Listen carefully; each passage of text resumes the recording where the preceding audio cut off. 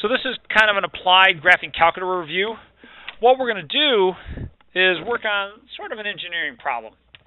So I've got this grid here, which represents uh, a sheet of paper or some material.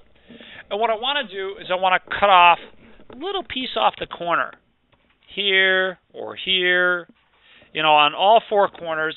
And then once I cut off the corners, I can bend this up into a box, a box with an open lid. Now, depending on how big you make that cut, you know, if you cut off, say, just one little piece or two or three or so, you can get um, various size boxes. And the goal would be to try and figure out, well, what way can I make this box the biggest? How can I do that? So that's a good question here. And I've given you several several of you some boxes. So as you were sitting here, you can try and figure out the volume of that box and the volume of your box. Let's you figure out the volume of this box in general.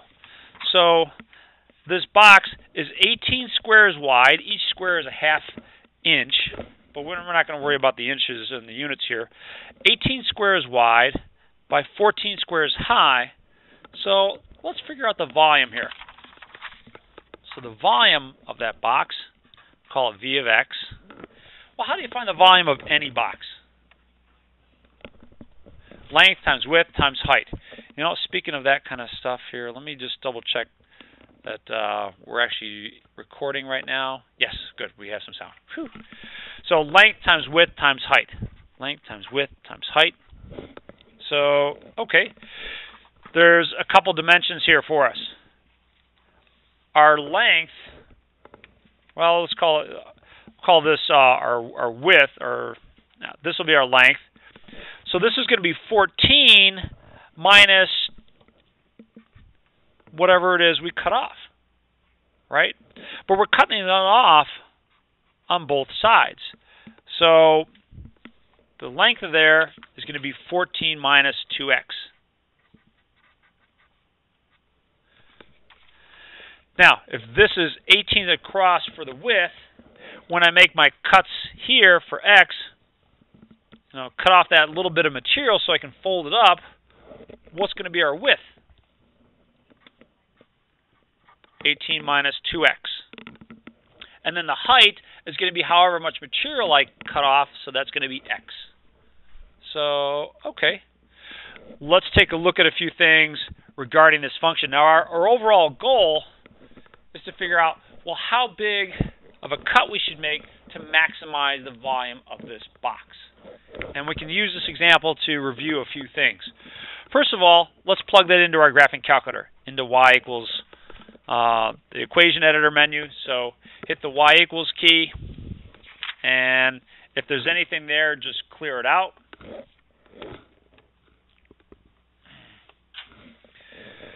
So it's going to be left parenthesis 14 minus 2x, right parenthesis, then left parenthesis. You don't need to hit the times.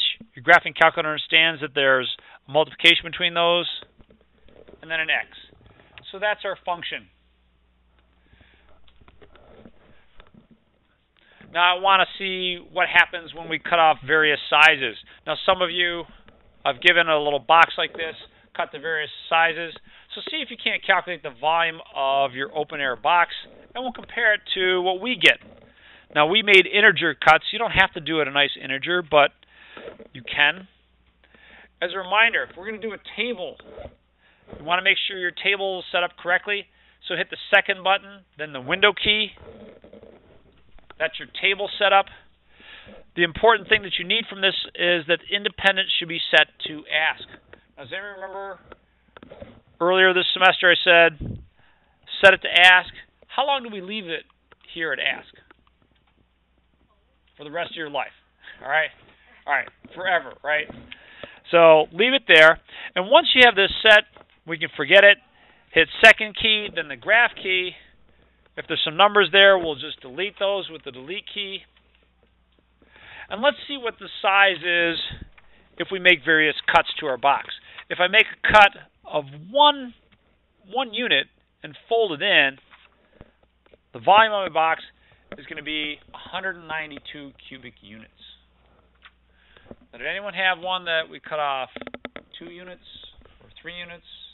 You guys work on yours? So two units. If you cut off two units and then fold it up, then the volume of your box is 280 cubic units. So it's bigger. And let's keep going. Three, four, five, six.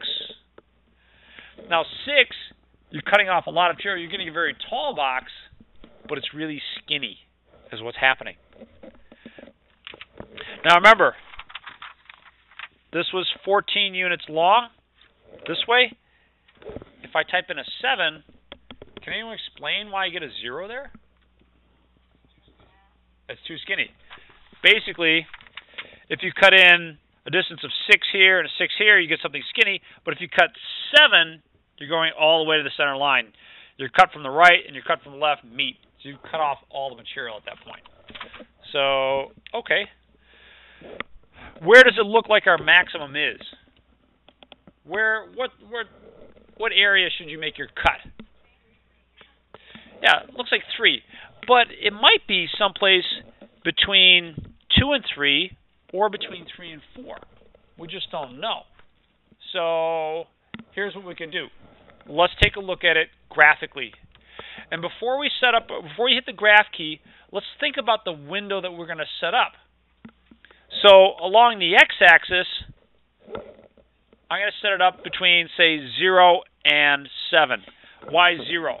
Well, because if I made a cut of size 0, well, I'm not going to get any volume. I, I can't fold it up if I don't at least cut a little bit of material off. So my window on the x-axis is going to be between 0 and 7. On the y-axis, how high do I need to go up on the y-axis? Certainly I'll go down to 0, but up to what? Yeah, 300 sounds like a good one. All right, you want to leave yourself a little extra room in case it goes higher than the 288. So we'll go to 300 on the y-axis. Now, if I had 300 as my y max and y scale was 1, then my graphing calculator would try and force in 300 tick marks on the y-axis. It'd get a little bit busy there. So let's think of something a little bit bigger than 1. What else could I put here for y scale? 50? Yeah, a couple people are saying 50. I like 50. So now there's just going to be six tick marks up and down the y-axis, and that's fine. When you're ready, hit the graph key, and you should see a graph of our function. Now, what we're interested in finding is the value of x that actually maximizes this graph. Where where should I make my cut? If I was doing this for some kind of production facility, I wanted to really maximize this, where should I make my cut? Well, I want to find the maximum, and it might not be exactly at an integer value. So hit the second key. Second key, then the trace key to take us to the calculate menu. What is it that you think I'm going to look at here? maximum. So choose number four. Your calculator is going to want a left bound and a right bound. So I need something to the left of this point and to the right of this point, my, my maximums. You can do it with the trace key. You can trace over, you know, use the left arrow and get to the left of your maximum, and then press enter, and then use the arrow to get to the right of it, but you don't have to necessarily just use the arrow. You can also type in the number. So like one, two, three, four. If I just press the number four and then press enter, it puts my right bound there. So it might be faster to type in numbers than to use the little arrow key. Last but not least is asking me for an initial guess. This is because your calculator was programmed by numerical analysts, and they want something closer to this to make it easier on the calculator. You don't have to make it easy on the calculator. Just press the Enter key. It should give you the maximum at about 2.60488, etc. So, you guys able to get that? All right. Now, when you take your calculus class, um, you'll find out that I think that's 16 plus the square root of 67 over 3. All right, but we don't have to worry about that. Um, what you should worry about is being able to graph, um, being able to find minimums and maximums, and use the table. So those are the important things that you should get out of this. Yes, sir. I, could. is there anything wrong with it? No. All right. No. Um, uh, the the part that I wouldn't put on the exam is, you know, creating this function. I mean, that's a little bit uh, more involved than I would want to do on a function. Although I hope you followed along with what I did. But you should be able to take this polynomial. If I gave you v of x, you should be able to do everything with it that we did. Use a table, find a graph, find a maximum or minimum, depending on the function. So, anything on this before I uh, call it a day on this uh, kind of review example for your graphing calculator? Looking good? All right, was that helpful?